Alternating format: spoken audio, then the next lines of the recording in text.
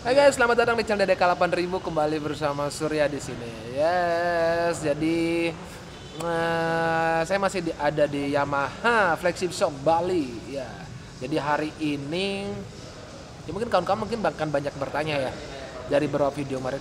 Beli, itu kan si Yamaha NMAX yang baru itu kan mengusung konsep all new, all new NMAX. Terus apa dong bedanya sama NMAX yang lama? Nah, ini dia. Di video kali ini saya akan ulas tuntas mengenai perbedaan dan juga ada beberapa part yang mungkin masih sama dipakai di all new Yamaha NMAX 155.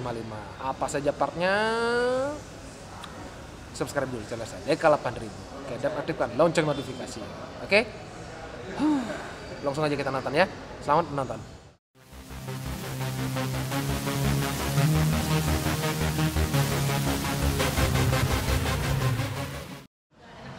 Oke, ini di depan kita sekarang sudah ada dua buah Yamaha NMAX ya. Yang ini versi all new NMAX, yang versi terbaru. Yang ini adalah NMAX yang lama. Kita lihat sekarang apa aja beda-bedanya ya. Kelihatan sekilas tadi sudah sempat berbicara dengan orang Yamaha. Ini benar-benar sebenarnya all new NMAX ini benar-benar all new ya. Dalam artian semuanya baru, bahkan sampai rangka pun baru. Cuman karena letaknya di dalam, dia nggak begitu kelihatan.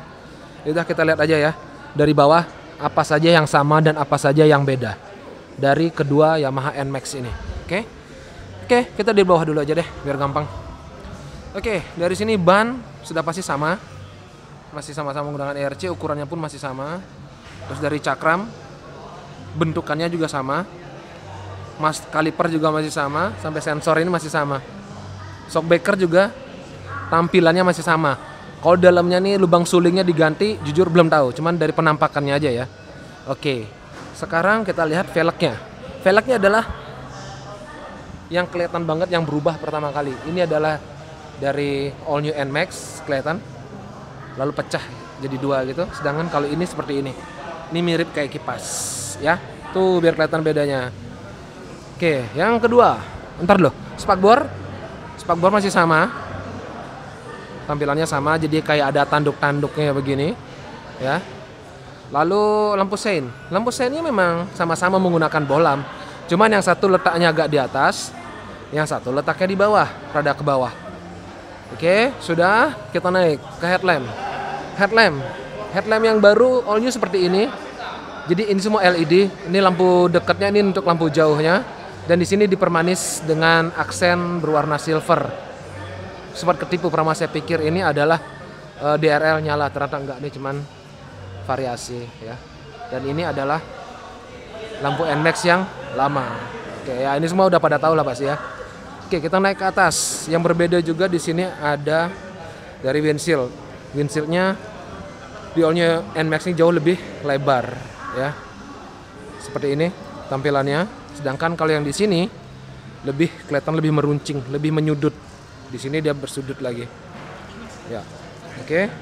Terus dari tampilan sisi warna depan kalau yang baru ini yang warna hitam dominan dengan warna doff kalau di sini masih ada lah warna glossy di bagian depan. Ya selain yang di bagian belakang sana. Oke sudah. Depan sudah. Kita sekarang ke sisi di bagian baliknya ini. Hop, saya duduk di NMAX yang lama aja dah biar enak. Ini dia ini adalah tampilan kokpit dari Yamaha NMAX yang lama. Speedometer kelihatan kan bulat seperti ini. Kalau dinyalakan seperti ini. Di sini ada tombol reset, ada tombol select. Itu ada di speedometer semua, ya. Terus ini kelihatan bolong kiri kanannya. Tapi kalau yang baru seperti ini tampilannya. Full. Jadi full benar-benar full dashboard ya kiri kanannya. Mirip sekilas lihat mirip kayak Lexi gitu. Kalau dinyalakan seperti ini dalemannya sih mirip-mirip masih dalemannya ya.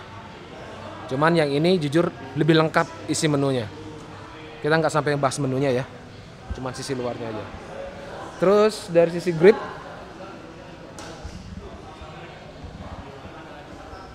oke. Dari sisi jalunya stabilizer di sini pun beda. Ini cuman tanpa motif ya mulus mulus seperti ini.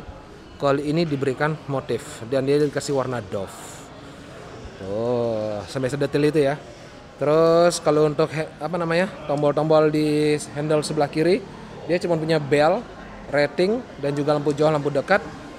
tidak ada lampu passing ataupun menu di sini. Nah, kalau yang baru itu ada. Ya. Ada bell, ada rating, ada lampu jauh dekat dan ada lampu untuk menu. Ini bukan passing ya, untuk lampu jauh yang ngedim ya. Ini adalah tombol menu. Yang lama, tombol sebelah kanan cuma ada tombol starter saja. Sedangkan yang baru lengkap, ada tombol starter, ada hazard dan juga ada hmm, start stop. Ya, start stop engine. Oke. Sudah? Belum. Ternyata tampilan dari aksen ini bagian dashboard ini juga mendukung penglihatan ini seakan-akan dari riding positionnya kelihatan beda tapi ternyata enggak ini dibuat seolah-olah terkesan ini lebih maju gitu ya. Tapi enggak ternyata sama ini dibuat dia lebih padat ya. Oke kita bagian bawahnya. Kalau yang lama seperti ini tempat penyimpanannya sebelah kiri besar banget bisa masuk tempat minum segala macam. Tapi yang kanan buntu nggak bisa isi apa-apa. Yang kiri eh sebentar. Terus dari kuncinya seperti ini. Oke.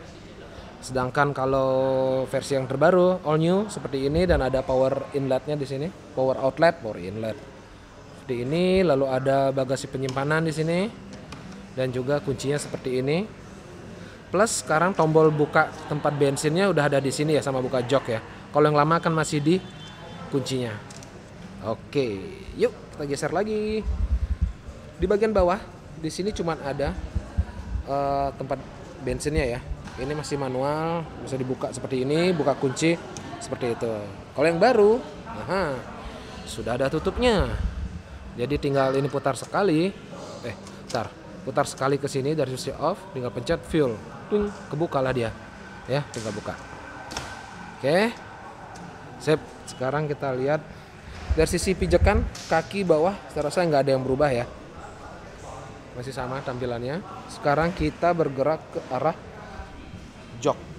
ah jok. Kalau jok di Yamaha NMAX yang lama itu dia bermotif. Jadi serasa kayak lebih lebih kasar gitu jadi joknya ya. Ada dua tu, uh, tutun lah. Di sini yang versi ada motifnya di sini versi polosnya. Terus kalau dilihat dari atas ini dia manis lengkungannya seperti ini. Ya. Sedangkan kalau versi yang terbaru dia bentuknya seperti ini. Ya. Dia polos joknya terus yang di bagian ujung ini dia menyiku. Karena mungkin ngikutin alur dari handle belakang ini ya. Seperti itu. Terus kita lihat dulu ke mesin. Nah untuk mesin ini nanti kita dengar aja ya. Ini masih yang NMAX lama ya masih berisik lah istilahnya ya. Terus yang baru itu sudah pakai SMG Smart Motor Generator. Jadi dia lebih halus. Terus dia dekat pijakan kaki, footstep belakang. Ini teman-teman dari Capung Garage kemarin sempat masalah waktu custom. Ini dia mentok di masalah ini karena ini ada ininya. Masih ada tambahan di sini. Sedangkan kalau yang baru itu baplang nggak ada. Jadi cuma ini aja. Jadi ini kosong. Oke, kita sekarang ke bagian sebelah belakang ya. Kalau lampu belakang sudah pasti kawan-kawan tahu semua. Ini masih kelihatan sangat mengkotak banget. Terus semua masih bolam sedangkan kalau yang ini yang versi all new dia sudah LED walaupun sini lampu ratingnya masih menggunakan bolam oke yang kelihatan lagi dari spakbor belakang. Spakbor belakang yang Yamaha NMAX yang lama cuma punya satu mata kucing ada di sini. Nah sedangkan yang baru nah ini adalah sebenarnya versi NMAX CBU jadi biar sekalian aja biar keren jadi dikasih tiga mata kucing. Kanan kiri dan juga di bagian bawah. Oke. Terus yang terlihat juga hampir tidak kasat mata adalah dari sisi shockbreaker. Shockbreaker ini adalah tampilan yang lama dan ini adalah yang baru. Bedanya di mana beli? Kelihatannya sama? Iya sama memang kelihatannya. Cuman coba perlihatkan. Ini jari saya agak susah masuknya. Sedangkan di sini ini longgar bro. Ya, jadi ini jarak renggang pirnya itu lebih jauh. Jadi dia lebih nyaman. Tapi sebagai kompensasinya adalah supaya ini tetap juga tangguh untuk dibawa ngebut adalah jarak mainnya. Jarak mainnya ini yang All New X Max N Max di jarak travelnya lebih panjang dibandingkan versi yang lama. Oke. Terus yang juga berbeda adalah hmm, dengan ayun. Lengan ayun belakang seperti kawan-kawan lihat seperti ini. Dia bentuknya masih ada kayak setengah lingkaran gini ya. Tapi kalau di yang All New NMAX nih nggak ada. Nyaris rata ya. Itu dia. Kaliper sama cakram itu masih sama. Baik di NMAX lama maupun NMAX baru. Knalpot tampilan sih sama ya. Cuman ternyata ini ada bedanya. Kalau di NMAX lama itu tidak ada catalytic converter. Mungkin ini terhubung dengan regulasi gas buang ya, sedangkan ini ada. Tuh, kelihatan kan? Itu dia. Terus yang kita bisa lihat lagi kapasitas tangki. Oke, kita buka dulu. Eh kok ini saya buka tangki. Ntar, kalau tangki ini ketinggalan. Kalau ini tangkinya ini 7 liter ya Pak ya? 7 liter yang baru, sedangkan yang lama cuman 6 liter.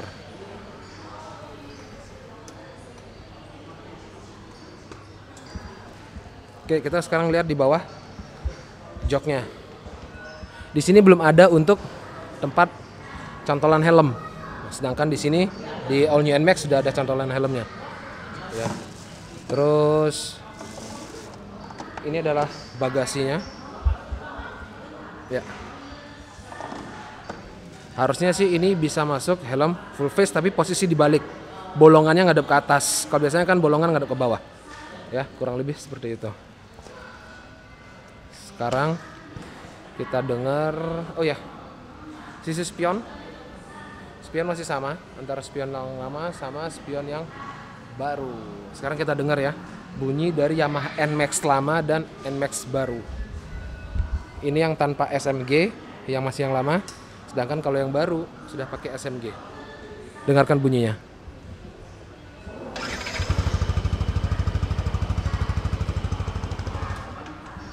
Ini yang pakai SMG, Smart Motor Generator.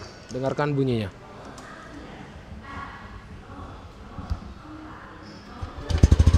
Aha. Kan bedanya? Itu dia. Kita lihat lampunya sekarang ya. Harus cepat soalnya ini ruangan tertutup supaya tidak ada gas buang.